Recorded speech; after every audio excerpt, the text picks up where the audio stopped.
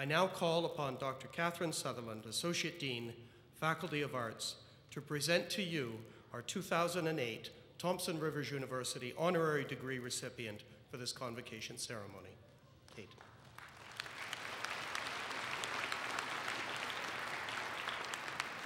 Thank you, Mark.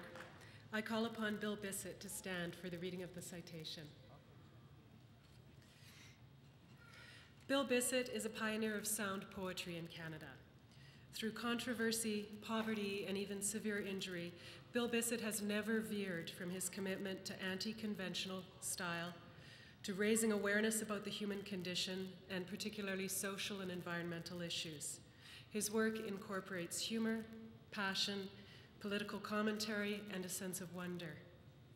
Once described as post beatnik but pre hippie in the early 1960s, Bissett established, Bissett established Blewointment Press in Vancouver, an alternative publishing house that existed for 20 years and was among the first in Canada to disseminate the poetry of writers like Margaret Atwood, Michael Ondaatje, and B.P. Nichol in addition to 200 others, including Mar Martina Clinton, Lance Farrell, Maxine Gadd, and D.A. Levy.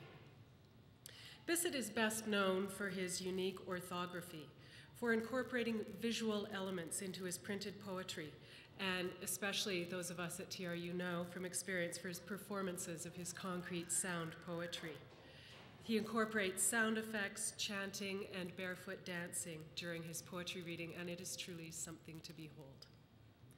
His career is most closely associated initially with Vancouver, though he is presently based in Toronto. He's been writer in residence at the University of New Brunswick, Western Ontario University. For many years, he's lived part time in the Cariboo region of British Columbia, and this is the subject of many of his poems. Bissett has been awarded the 1990 to 91 Milton Acorn People's Poetry Award and the Dorothy Livesay BC Book Award for poetry in both 1993 and 2003.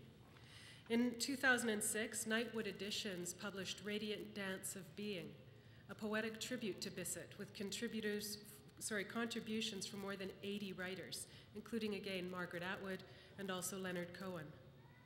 Last year, Bissett was awarded the Lifetime Achievement Award from the BC Book World. He has also had large painting exhibits, many audio recordings, and was the lyricist and vocalist in Luddites, the Ontario band. He has ties to Kamloops as well, as many of you know. He has worked for a decade with the Young Authors Conference held each year on TRU's campus in collaboration with the school district. He's published a poem about Kamloops in the Small Cities book and his public readings at Cariboo College and later UCC were wildly popular, and I'm tempted to say, and just plain wild, and wonderful. And indeed, he may have the honor of having given more readings at this institution than any other writer. He has also been extremely generous to our students with his time over the years. It's clear that Bissett is a charismatic performer who makes his work accessible to everyone. In recognizing Bill Bissett today, Thompson Rivers University acknowledges the importance of poetry and art in our intellectual, cultural, but also political and social lives. The importance of Bill Bissett's contributions to education and to mentorship on our campus and in our community.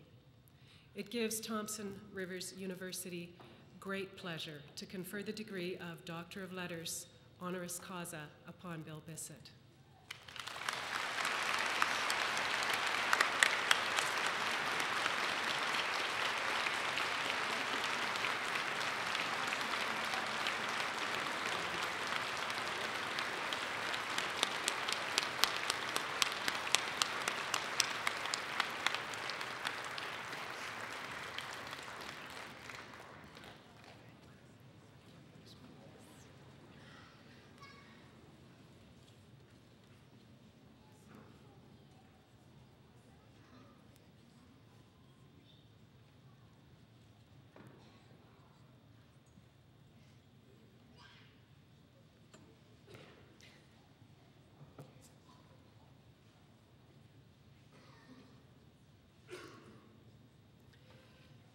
I now invite Dr. Bill Bissett to say and perhaps perform a few words of acknowledgement.